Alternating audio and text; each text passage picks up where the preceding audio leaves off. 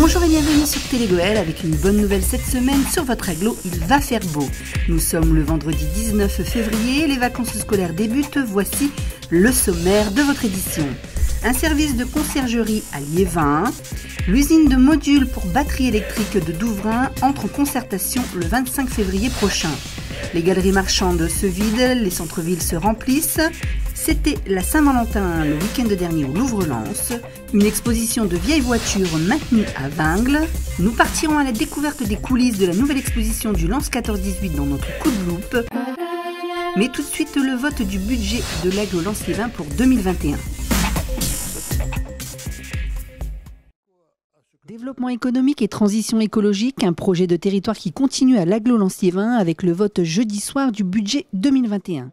Ah bah, les grandes lignes sont euh, les mêmes que j'allais dire les années précédentes, c'est garder l'ambition pour l'agglomération avec des enjeux en matière de développement économique, en matière de, transition écologique également. On est dans la poursuite de notre projet de territoire. On a voulu à la fois euh, conforter les communes parce que les dotations aux communes restent les mêmes et ce qui est dans un contexte particulier est déjà une conséquence euh, non négligeable, mais en même temps garder l'ambition pour pouvoir redémarrer le plus rapidement possible et que le territoire qui est, est attractif, qui le montre depuis quelques années au travers du projet de territoire, au travers des politiques qui ont été dédiées dans matière touristique, en matière économique sur nos parcs d'activité, sur la création d'entreprises, puissent garder cette ambition au travers le budget qui se veut un budget aussi euh, volontariste des élus de l'aglo pour pouvoir euh, porter cette ambition et surtout porter un message fort d'attractivité pour ces entreprises et pour une population qui, euh, qui nous rejoint de plus en plus nombreuse chaque année. Une politique d'attractivité du territoire qui s'accompagne des aides maintenues durant la crise sanitaire qui continue.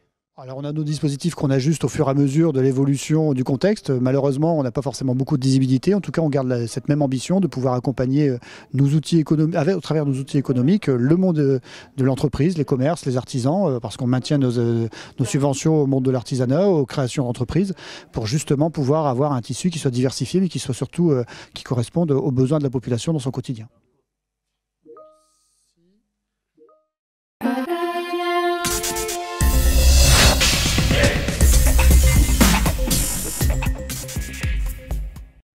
En plein cœur du marché couvert, les services de proximité de la conciergerie de Liévin se développent davantage depuis juin l'année dernière. Thomas, 34 ans, en est le fondateur et le concierge de quartier. On a plusieurs euh, produits et services que l'on propose directement sur place. Vous voyez derrière les points de bouteilles, euh, en verre consignées. Euh, tout ce qui est Saint-Amand, plate, gazeuse, Evian, Vitel. Enfin voilà, c'est un service éco-responsable. On a une vocation éco-responsable et solidaire. Des emplacements sont aussi mis à disposition des associations et des créateurs pour vendre leurs produits. Mais ce n'est pas la seule activité de Thomas. Ce matin, on a des livraisons euh, pour euh, une boulangerie. On doit livrer euh, l'Arena Stade Couvert, donc qui est un, lieu emblématique aussi de Liévin. Et puis on a une livraison aussi de fleurs. Service à domicile, faire les courses, Thomas est chargé de livrer les commandes des structures ou des habitants. Tarif 1 euro le kilomètre. Près de 150 clients sont déjà fidèles à la conciergerie. On a de plus en plus de demandes et euh, forcément on fonctionne énormément en bouche à oreille, hein. il n'y a pas de pub euh, un peu partout, c'est énormément du bouche à oreille et quand une personne est contente, bah, elle parle de nous à 5-6 personnes et du coup, euh, du coup ça grandit. Comme cette boulangerie liévinoise en pleine croissance est active dans le domaine de l'éco-responsable, avec pour objectif ne produire aucun déchet et donner ses invendus aux associations locales. C'est l'une des premières à avoir sollicité la conciergerie. On est ravis d'avoir ce partenariat. pour moi, c'est un garçon très professionnel. Euh, on est complètement en phase avec euh, l'évolution de nos business effectifs. Après un saut chez le fleuriste, Thomas et sa camionnette arrivent chez Jocelyne, à quelques kilomètres de là. Bonjour Mme Triquet Elle a commandé un bouquet pour le week-end de Saint-Valentin et n'a pas payé la livraison car elle est senior et passe souvent commande via la mairie qui offre le service. Là, demain, ça va être la viande. Souvent, c'est les fleurs et des corbeilles de fruits qu'on fait parvenir pour, euh, en cadeau. La conciergerie de Liévin est vouée à se développer encore plus. Thomas prévoit d'embaucher une ou deux personnes pour renforcer son équipe avant l'été.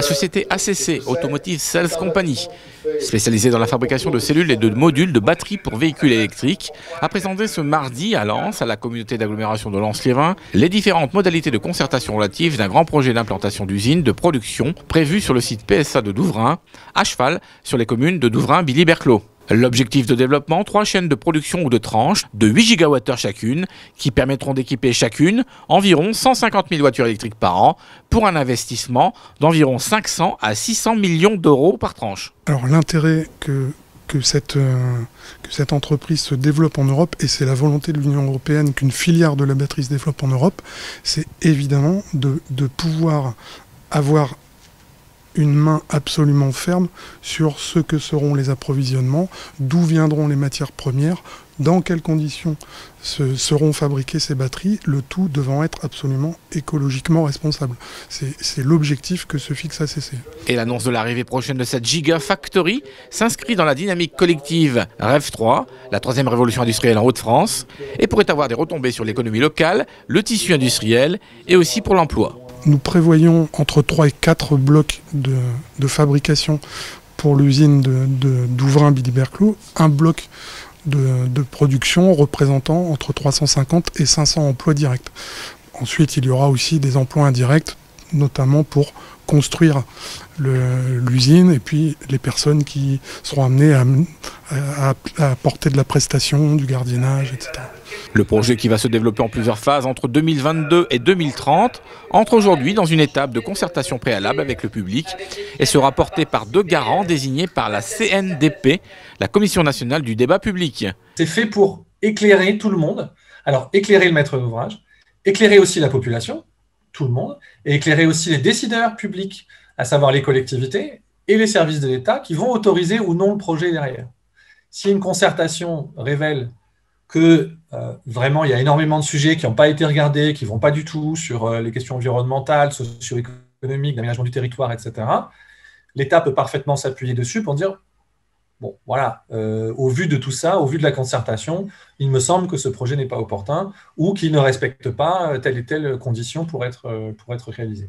Faut-il le faire? Pourquoi le faire? Comment le faire? Les habitants pourront s'informer, échanger et exprimer toutes leurs questions sur ce projet. La concertation commencera le 25 février et se déroulera jusqu'au 23 avril. Une réunion d'ouverture est programmée le 10 mars prochain à Billy-Berclos. En attendant, plus d'informations sur le site www.concertation-acc-batterie.fr.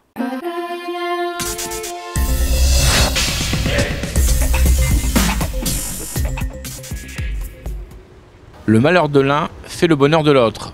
Depuis la fermeture des galeries marchandes, ce sont les centres-villes qui retrouvent des couleurs. À Lens, depuis quelques semaines, solde oblige, les rues sont pleines. Euh, disons que là, je pense plutôt que c'est surtout une nécessité. Après, je pense aussi que ça, leur permet aussi de redécouvrir les centres-villes. Parce que euh, depuis quelques années, on est surtout euh, mis de côté. Et j'espère que nos commerçants savent les accueillir comme il se doit. Concernant l'accueil, les règles restent les mêmes partout. Masque obligatoire dans les rues et commerces, gel hydroalcoolique et un nombre de personnes limité dans les magasins. De quoi laisser place à de longues files d'attente en cette période de soldes et de Saint-Valentin. Les, fêtes ne sont jamais oubliées. On voit quand même que, que ce soit Noël, Nouvel An, Pâques, parce que le premier confinement, Pâques était euh, dans, le premier confinement. Euh, les gens sont au rendez-vous, pensent quand même à, fêter toutes ces fêtes heureusement pour nous commerçants qui puissions quand même travailler. Sébastien est également président de l'association Shopping Lance.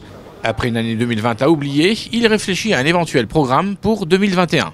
Bah, disons qu'au niveau de Shopping Lance, c'est un petit peu compliqué. On est sur une année blanche, hein. tout ce qui est braderie, manifestation, rassemblement, on est un petit peu bloqué. Par contre, euh, nous sommes là sur un programme qui est un petit peu euh, différents, euh, notamment euh, sur l'ouverture de la braderie de printemps qui est organisée par Shopping Lance. On pense l'organiser mais d'une façon différente, avec des choses, surtout des cadeaux à la clé. Il y a quelque chose qui est en, programmation et qui devrait être sympa pour pouvoir accueillir notre clientèle et puis aussi pour faire de la braderie. En attendant les nouvelles mesures gouvernementales, votre centre-ville est ouvert du lundi au samedi jusque 18h.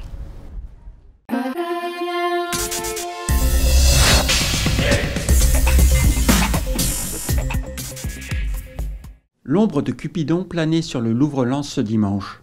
L'amour. Les médiateurs du musée ont été inspirés par le sujet, en proposant diverses activités.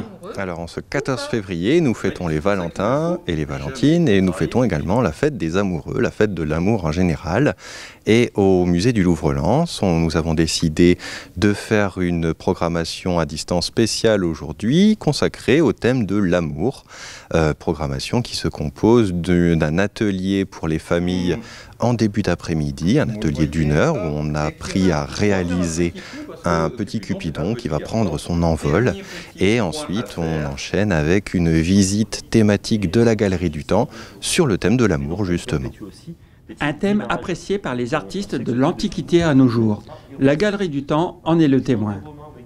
Dans la Galerie du Temps, l'amour est un thème euh, que l'on va retrouver sur plusieurs œuvres, alors pas sur toutes les œuvres non plus.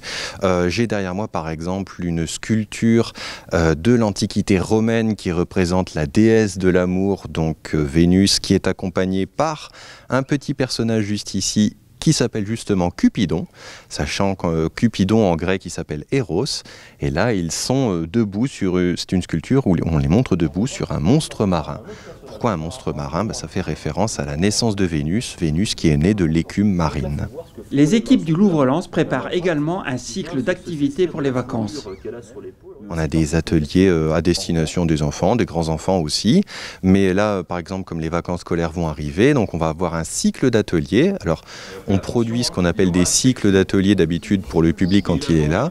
Mais là, on va les produire à distance. Donc, on va faire un, grand cycle, un grand cycle d'ateliers. Euh, et si vous voulez euh, participer à ces ateliers, ben, n'hésitez pas. Toutes les informations sont sur notre site. Donc, on a un agenda spécial visite à distance ateliers à distance sur lesquels vous pouvez vous inscrire librement. Et c'est un musée sans public, c'est un petit peu triste. Alors du coup, on est euh, bien content de pouvoir proposer cette programmation à distance euh, pour les publics qui le souhaitent, qui le désirent.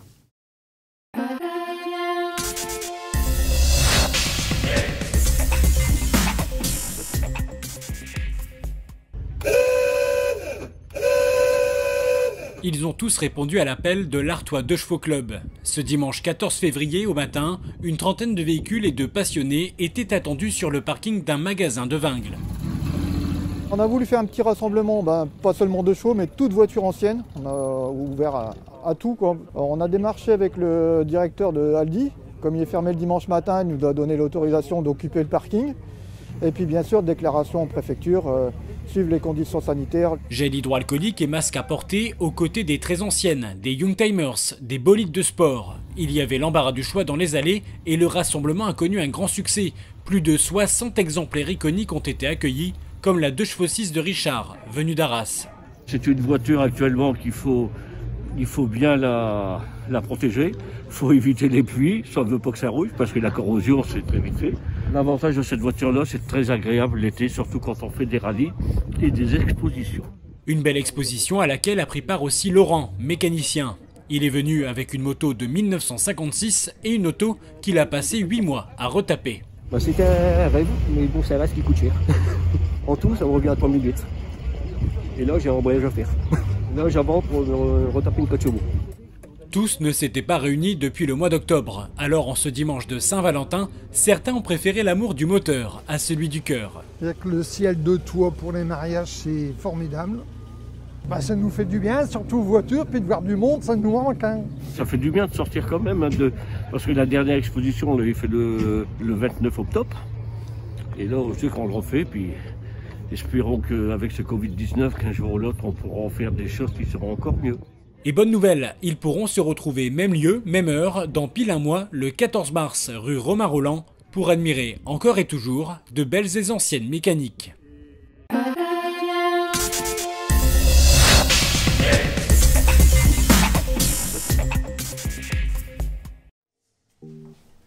Plus de 70 photographies, deux films, des semaines de travail et cinq jours d'installation Télégoël vous emmène dans les coulisses de la prochaine exposition du Mémorial 14-18.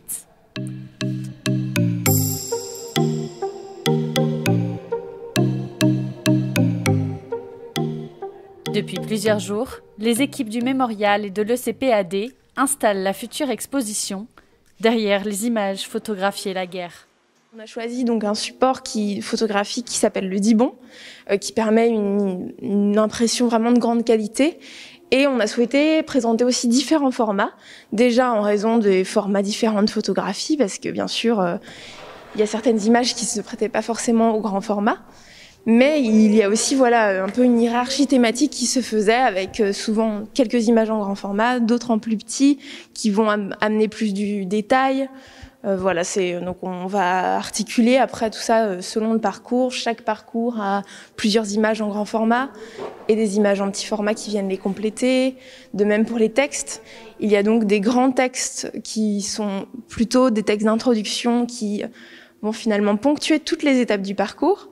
Et il y a aussi d'autres plus petits textes qui, eux, vont amener plus de détails. Mais finalement, le visiteur, il peut choisir aussi ce qu'il a envie de lire. S'il veut juste lire euh, les grands textes d'entrée, on va dire, donc les textes qui sont un petit peu bleu-vert, il peut. Euh, ça lui donne déjà du contenu largement suffisant pour comprendre euh, l'exposition et de quoi elle parle. Bien comprendre l'exposition, c'est choisir les bons supports, mais aussi les matériaux. Il faut penser effectivement à tous les systèmes d'accroche. Donc on utilise des cimaises qui demandent des accroches particulières. On va donc on a aussi sollicité une scénographe pour la conception d'un mobilier qui permet d'accrocher d'autres éléments, un mobilier plutôt modulable où on va pouvoir euh, voilà des fois accrocher, poser des objets. Donc à chaque fois ça demande des ajustements parce que des fois on, se rend compte que l'accroche qu'on avait prévue ben en fait ça marche pas. Du coup, il faut trouver une autre solution. Effectivement, les images qui vont être plus ou moins bancales, il faut trouver un moyen de les qu'elles soient bien en place. Et puis le but, c'est que ça soit plutôt durable. Donc euh, voilà, il faut trouver à chaque fois des petites astuces.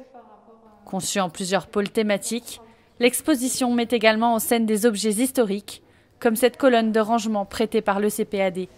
Cet objet est une colonne de rangement qui était utilisée donc euh, par la SPCA, donc section photographique et cinématographique des armées, pour le classement des photographies. Et il faut savoir qu'à cette époque, bah, c'était des photos donc qui étaient sur plaque de verre.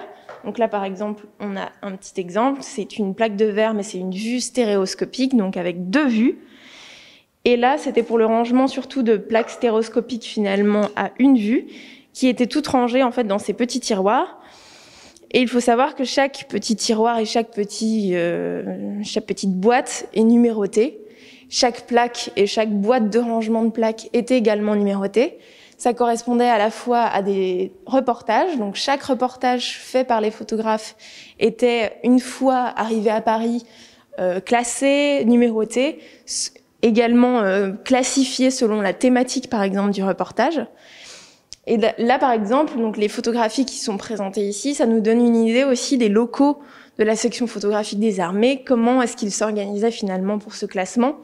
Donc, si on regarde plus attentivement, il y a à la fois euh, le laboratoire de photographie, mais il y a aussi une image qui parle, euh, qui montre davantage les albums photographiques qui étaient tirés par la suite, donc à, à partir de ces plaques de verre, et aussi comment finalement tout était classé dans du mobilier euh, qui était sur place.